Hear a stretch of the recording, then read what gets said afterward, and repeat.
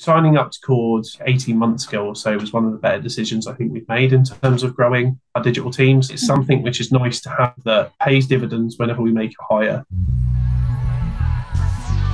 My name is Jimmy Rushworth. I am the head of digital transformation at Thrive Tribe. Thrive Tribe is a healthy lifestyle services provider. So we run a variety of health programs, primarily in the UK, that help people make changes to things like their weight, their alcohol consumption, lifestyle behaviors, things like smoking. We help people improve their lifestyle. A couple of years ago, we decided to transform our business and start taking more ownership and control over our digital services and the products that we use and started to build our own technology. So we very quickly had to start recruiting into tech roles. When we put roles live on our website, for example, and through different recruitment systems, and they've gone on Indeed or LinkedIn everywhere, the response rate off the back of them can be quite low. So we get lots of kind of speculative applications, I think. Whereas with Cord, it feels a lot more honest as in if they're on Cord they're on it for a reason we know that they're interested in finding work there's something quite nice about Cord which is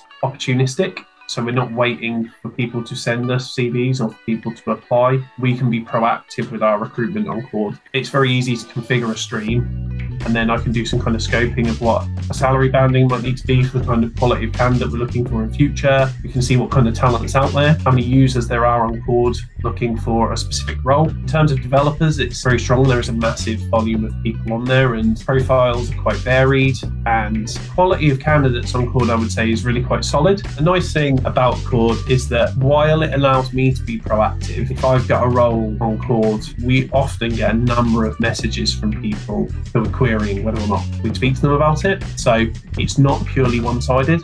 I think that's important. About 50% of people are people who message us. If you've got an interesting role on Cord, you will get messages about it and you will get conversations started. That initial communication, that direct communication we have, I like the fact you can get to that really quickly. There's not so much time wasting. And we have hired at least five people through Cord. In terms of the quality of hires, I'm really happy with the people we have hired. In terms of our permanent staff, it's probably 30% or so of the hires we've made. So in that sense, it is a good asset because the fees attached to hiring a permanent staff member through an agency could be a year subscription to Cord. So it does pay its way. If we recruit multiple people throughout the year on Cord, as I see it, we're kind of saving money in terms of recruitment there. It feels a core part of our recruitment now. I don't see us moving away from that for a long time.